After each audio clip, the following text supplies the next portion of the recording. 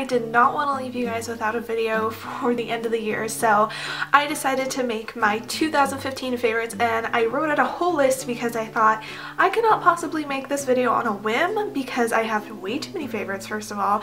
Second of all, I haven't made a video in a long time so I may be a bit rusty but I wanted to do a favorites video for 2015 because I do have a lot of favorites and I just like feel like 2015 was a, a great year for just things and finding things and discovering a lot of different things so I'm just gonna jump right into it. My camera's on low battery, that's wonderful. Who doesn't love low battery?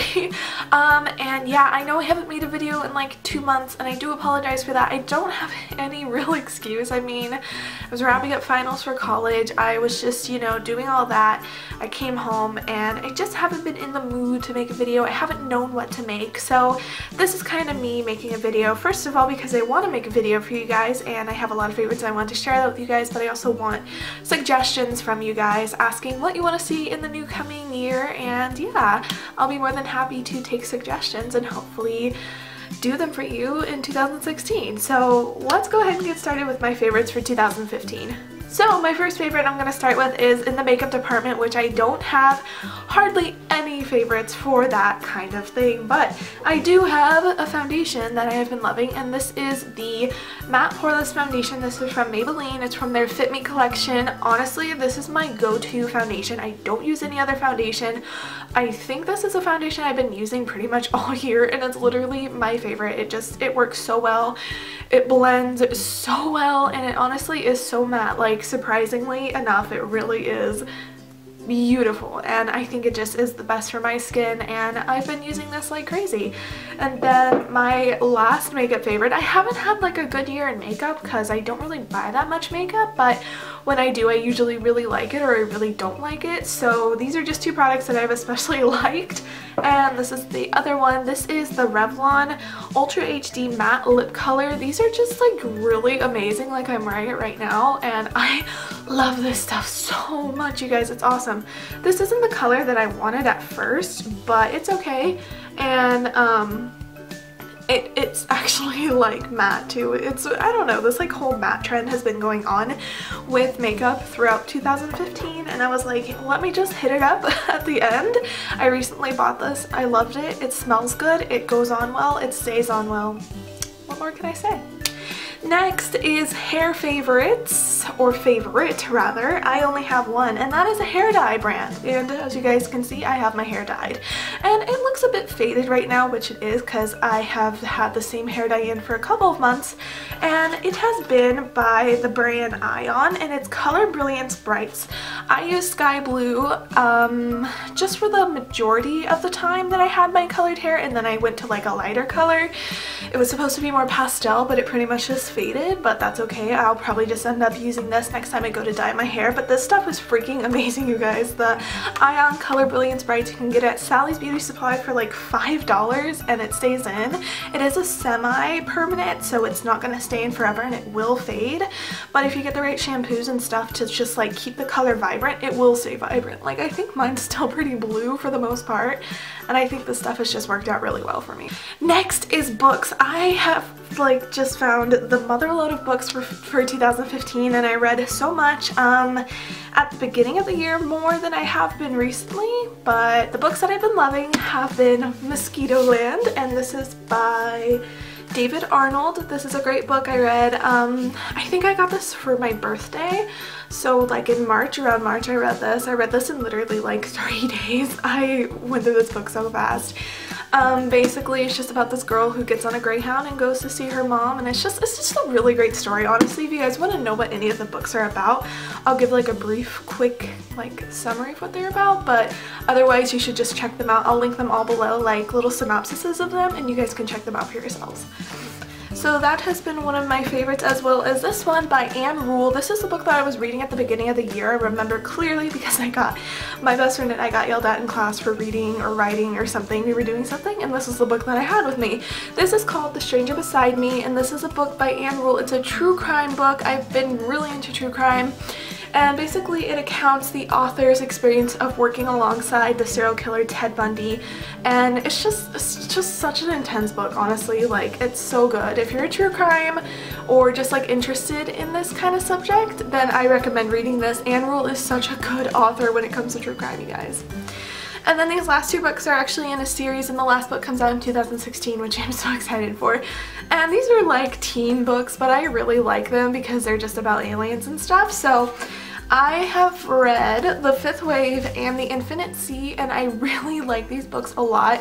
I don't know. I don't know what it is. I wasn't crazy about the storyline so much or like just like characters. Some characters I were like yes about but other characters I was just like mm, not needed like the main characters for example.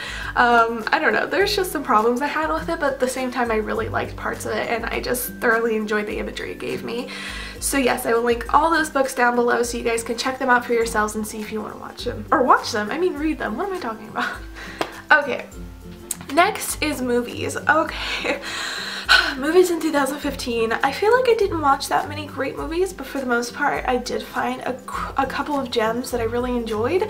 I watched the movie Wild, and that is honestly like my my favorite movie now. It's just it's so it's so great, you guys. Like, I watched it with my best friend. She came back for from winter break, and I just remember like I had been wanting to watch it in 2014 at the end of the year, and I couldn't find it online because I watch all my movies online because I don't like paying for them. Yeah, whatever, illegal. I don't know. but I ended up finding it and we watched it together and I cried like a baby and ever since then when I just want to like feel emotional I watch that movie. That's so weird. Okay.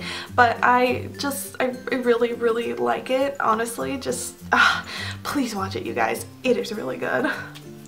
Another movie that I watched was The Way He Looks and this was actually on Netflix and this is a movie about two boys who just kind of, it's like a coming to age movie and these two boys just kind of like start to like each other and it's just really intense. It's a foreign language movie or not like, well yeah it's a foreign language so if you don't speak English then it's a movie, I'm pretty sure it's in Italian but it's so good you guys, oh my god. I, I really liked it. It was such a simple plot but at the same time it was just like, I don't know, it was really special feeling. I don't know, just I feel like it just really like illustrated this whole like blossoming of these two boys and kind of how they fell in love or something. I don't know, I really liked it.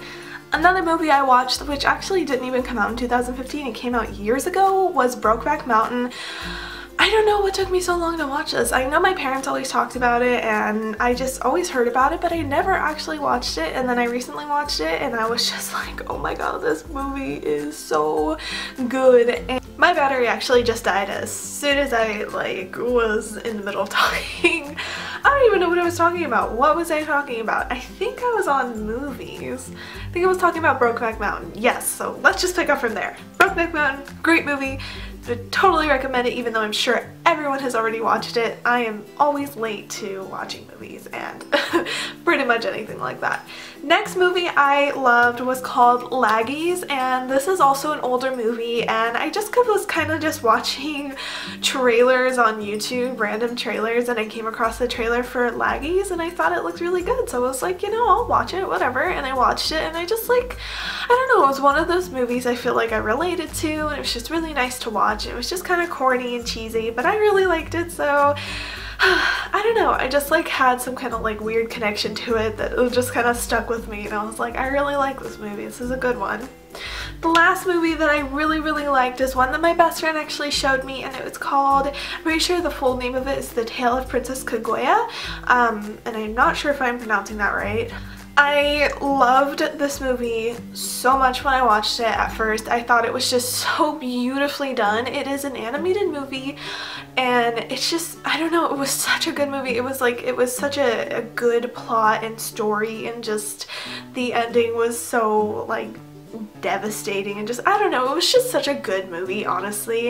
If you guys want to try something different and kind of out of the realm of things that most people would watch it's not like a super mainstream movie in terms of like American culture but it is a really good movie and I would highly recommend watching it. And again linking everything below or just like putting it in the down bar so you know what I'm talking about Next, oh my gosh, I like to think that 2015 was just my year to discover music because I have not, like, I, I've just found so much good music this year. It's crazy. I, I don't even know. I just, like, I don't know. This was just a year for music for me. I honestly have a huge list. I need to just, like, start from the top and try my best to get through it without it taking an hour. So the first artist is Sufjan Stevens. I'm not sure if I'm saying that right again, but he is such an amazing, talented musician. He is one of those musicians that does like, oh my gosh, my phone is like vibrating. He does like um, a lot of instruments with his music and okay, so beyond that, um, couple of my favorite songs by him are Age of Adz, Come On, Feel the Illinoise, Vesuvius and Impossible Soul. Impossible Soul is like a half hour long song, but it is so good. It's so good. Um, but he's, oh my gosh, a really great artist if you're into like, I don't even know what the genre would be like labeled as. It's just really interesting and just super good. I love the song El Condor Pasa If I Could by Simon, Simon, and Garfunkel. Okay, it is from the movie Wild. That's where I heard the song first. And like I said, that movie is like my favorite movie of 2015. I just really love the song. It was it just just like the lyrics and everything about it was so touching and just like I really just connected with it and felt that it was a really important song for me and just my my own life and it was it sounded amazing too. I really like the song, well the songs, the band in general, the Careful Ones. They're another band that I found on Spotify and I liked the songs, especially Easy Tiger and Lake Winona. Those two songs kind of became like the anthem for my story that I was working on and I, I really just like listened to them a lot whenever I was getting into the mode of writing these songs, I I mean, I know I'm just saying, oh, these are so good, but these songs really, like, I, I felt that. I felt them in my soul or something. I don't even know. Call me cheesy, call me overdramatic. I, I, I think these songs just, like, I don't know, they, they really just felt so special and amazing. I, I guys, I can't, you can't thoroughly express music. You just have to listen to it for yourself and judge it yourself. I like the song I Apologize Dear Simon by Moss and the song again I found in a movie from Netflix. It's called Boys I'm pretty sure. And um I just I don't know I, I like the song. It's cool. It sounds cool to me. I don't know it's a good song. High Hopes by Kodaline or Kodaline not sure how to say their name but again great song. Probably heard it. It's one of the more mainstream songs. Seafret oh my gosh, I don't even know how I discovered them. I probably, I think I actually, I like accidentally just discovered their music out of nowhere and I just started listening to it on repeat. I must listen to their songs like 400 times or something. I don't even know, like I'm not even exaggerating with that. I love the songs, especially Oceans and Sinking Ship. Just amazing, guys. I really liked 21 Pilots. Surprisingly, like I had never really been into 21 Pilots until like recently-ish and I really like the songs. They're, they're, they're, you know, more the popular songs, but I don't know, I, I like them. Stressed Out and Ride were just like two of the songs that I really, that like stuck with me. I really enjoyed listening to them. Why can't I talk today? Oh my gosh. Yeah, so those two songs are great. I kind of like rediscovered Pearl Jam. I don't know, I, I, have always like heard my parents talking about Pearl Jam and I've listened to Pearl Jam before but I never really got into it. and then like just this whole recent onslaught of emotion came to me and I was like, let me listen to Pearl Jam. Like, I like Pearl Jam, right? I don't know. So I listened to it and I'm like, yeah, I, I really like Pearl Jam. Um, three other songs, Jeremy, Alive, and Black, just so good you guys. Oh my god. Those are like again more the more popular mainstream songs but there's a reason they're popular because they are super great I like the song by Ra Rise Rage? No, what am I saying? I really like the song from Rage Against the Machine. It's called Killing in the Name and it's just like a really political song but it's so good. It's just one of those songs that makes you want to like get up and be like yeah and just like I mean their band is Rage Against the Machine like that's exactly what it makes you want to do. It's, it's a great song. And that's it for music. Oh my gosh, I got through it without taking up like 15 minutes. Okay, that's great. Guys, music has just been like a huge part of my year and has altogether been very defining for my own like self and the way that I've been feeling and everything. So if you ever want to look at what music I'm listening to, my Spotify profile is completely public and no I'm not sponsored or anything. That's just where I listen to my music specifically because you can create playlists and stuff so it's just easier. So if you ever want to see what music I'm listening to, just go to my Spotify. I always link it down below. So yeah.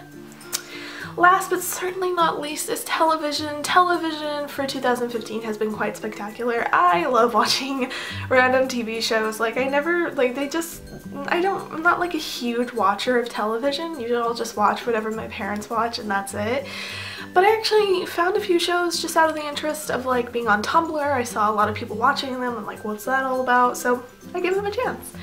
My best friend actually was watching Game of Thrones before I started watching it and she was like, yeah, it's really good, you should check it out. And I think I started watching it in 2014, but I finished watching it in 2015, so it still technically counts because I got more into it in 2015. Actually, I may have started it in 2015. I'm not actually sure. I don't know. Who knows? Who cares, right? Right.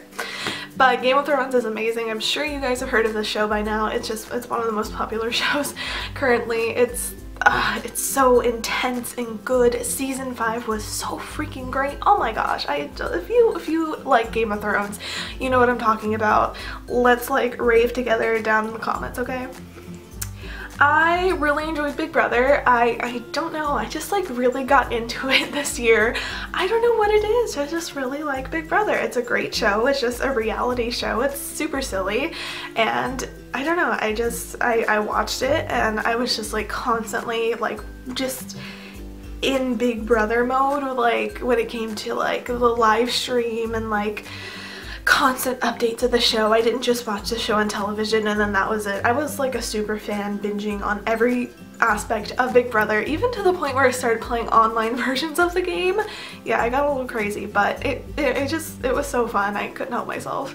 And with that, I also um, started watching Survivor, which is also such a good show. What the heck? What have I been missing for years now? Like, seriously. Um, but yeah, Survivor, another really good show that I recently actually started to watch and I thought was really awesome. So yeah, two thumbs up to that. Yes. Another show that I actually like literally finished today and I watched within like yesterday I started it, today I finished it. Wow. Granted, it's only one season, so it's not like that bad. It was 13 episodes. I don't think that's that bad. You know, I watched in two days. Whatever. We, we all deserve it.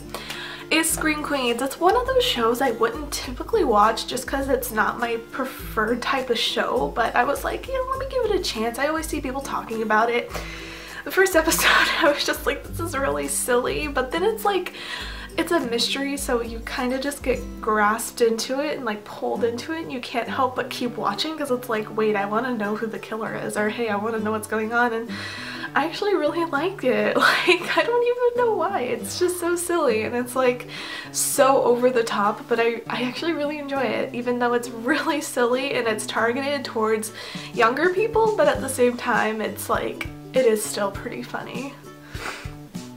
Another show that I kind of rediscovered slash finished was America's Next Top Model. If you guys don't know, the last season, the final season ever of America's Next Top Model happened this year and I'm very happy to see that Nyle won. He was my favorite if you guys watched that. And yeah, I just kind of like watched almost every season because I remember watching it was when I was little and I was like, let me just like rewatch it. And that's pretty much what I did like over the summer is I watched uh, America's Next Top Model and then I watched the final season and that was that. So yeah. And then the last show was a show that my best friend actually showed me and it, was just like amazing. And it's not really a show, it's more like, I mean, I guess you can consider it a show, but it's an anime and it's called Number 6. It's so, so, so good. And I feel like there's this common misconception that anime is just like really weird and just like for weirdos. And that's absolutely not true. It is a form of art and it is super beautiful and I'm very grateful that my best friend showed me or else I would not have like known about it because I was one of those people who was super skeptical about anime and just like, oh, that's weird, you only freaking weird people watch it, but that's not true. It's very, very untrue. I love the show, anime, whatever you want to call it. It was so good. Like honestly, just uh, I can't even express fully any of these things that I've watched or listened to. You just you just have to check them out on your own and form your own opinion about it and maybe try to feel the same feelings that I'm feeling. 2015 overall was just kind of like a whirlwind of like emotion, of doing things and like I graduated high school, I started college, like all these things and it's just like it's crazy. Okay, my card is almost full so I'm gonna wrap up and say goodbye. I hope you guys had a great year and I hope 2016 is great. I love you guys so so much. Thank you for constantly supporting me and I'll see you next time. Bye!